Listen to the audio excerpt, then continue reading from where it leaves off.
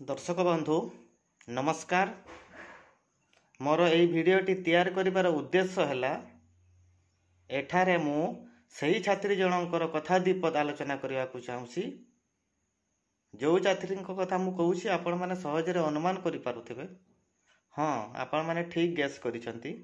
ମୁଁ ସେହି ଭଉଣୀଙ୍କର କଥା ଆଲୋଚନା କରିବା ପାଇଁ ଚାହୁଁଛି ଯିଏକି ମେଟ୍ରିକ୍ ରେଜଲ୍ଟ ବାହାରିବା ପରେ ଅନ୍ୟ କିଛି ପିଲାମାନଙ୍କ ସହ ମିଶି ହରତାଳ କରୁଥିଲେ ଏବଂ ସେହି ସମୟରେ ସରକାରୀ ବିଦ୍ୟାଳୟର ପିଲାମାନଙ୍କ ପ୍ରତି କିଛି ଆପତ୍ତିଜନକ ମନ୍ତବ୍ୟ ଦେଇଥିଲେ ଯଥା ଗଧ ଅଣ୍ଡା ଛତୁଆ ଖିଆ ପିଲା ଲୋ ଷ୍ଟାଣ୍ଡାର୍ଡ଼ ମାଗଣା ପାଠ ବାଲା ଏମିତି କିଛି ଆପତ୍ତିଜନକ ମନ୍ତବ୍ୟ ଦେଇଥିଲେ।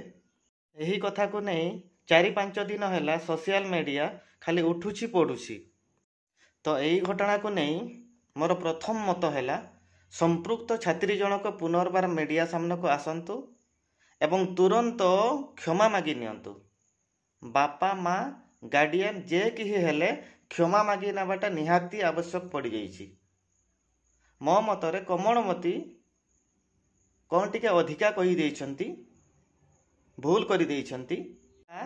ତାଙ୍କ ପାଇଁ ଶହେ ଗୁଣରେ ଭଲ ଶହେ ଗୁଣରେ କାହିଁକି ହଜାରେ ଗୁଣରେ ଭଲ ମୁଁ କହିବି। ନଚେତ୍ ସୋସିଆଲ ମିଡ଼ିଆରେ ସେ ଯେଉଁ ଭାବରେ ଟ୍ରୋଲ୍ ଏବଂ ରୋଷ୍ଟର ଶିକାର ହେଉଛନ୍ତି ଏହି ସିଲସିଲାଟା ବନ୍ଦ ହେବ ନାହିଁ। ଏବଂ ଏହା ସମ୍ପୃକ୍ତ ଛାତ୍ରୀଙ୍କ ପାଇଁ ବହୁତ ବଡ଼ ବୁମେରାଙ୍ଗ ସାବ୍ୟସ୍ତ ହୋଇଯାଇପାରେ। ମୁଁ ପୁଣି ରିପିଟ୍ କରିବି କମଳମତି ଘଟଣାର ସାଇଡ୍ ଇଫେକ୍ଟ ଅଛି ଏହାର ଗୁରୁତ୍ୱ ଆପଣମାନେ ବୁଝିପାରୁଥିବେ।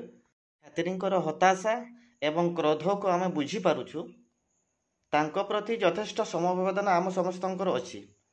ପ୍ରକୃତରେ ସେ ଯଦି ପ୍ରାପ୍ୟ ନମ୍ବର ଠାରୁ କମ୍ ପାଇଛନ୍ତି ତାହେଲେ ଏଇଟା ଦୁଃଖର କଥା। କିନ୍ତୁ ସେମିତି ତ ହେବା କଥା ନୁହଁ। ତୁମେ ଯାହା ନମ୍ବର ରଖିଥିବ ତୁମ ବିଦ୍ୟାଳୟ କର୍ତ୍ତୃପକ୍ଷ ସେଇ ନମ୍ବର ପଠାଇଥିବେ।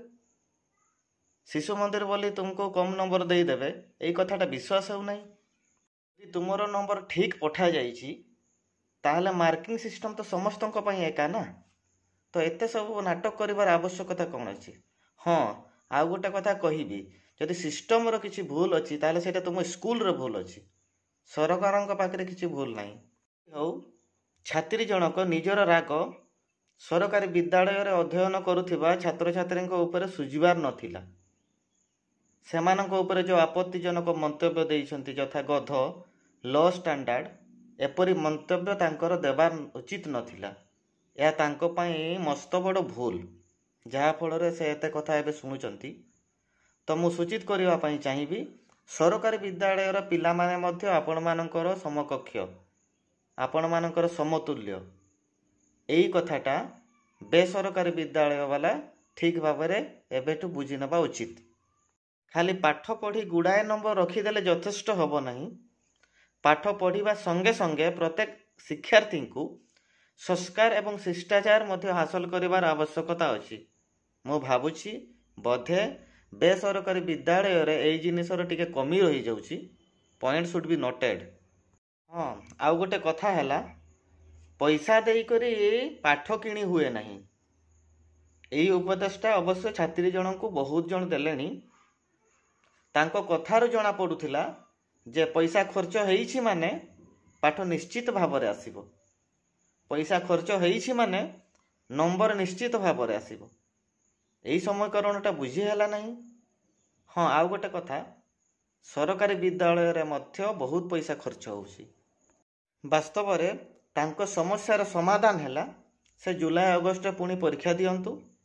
ସେଇ ତ ବୋର୍ଡ଼ ପରୀକ୍ଷା ଦେଇଥାନ୍ତ ସେବେ ଦେଇଥାନ୍ତ ସେଇଟା ଏବେ ଦେଉଛ।